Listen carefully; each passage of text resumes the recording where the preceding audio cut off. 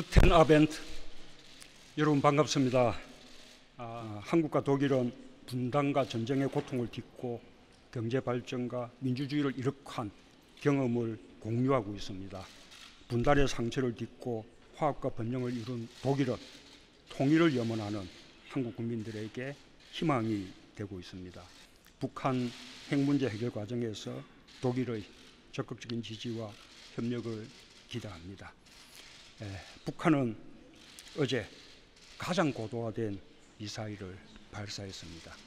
아, 이것은 한반도의 평화는 물론이고 전 세계의 평화에 대한 아주 심각한 도전이고 위협입니다.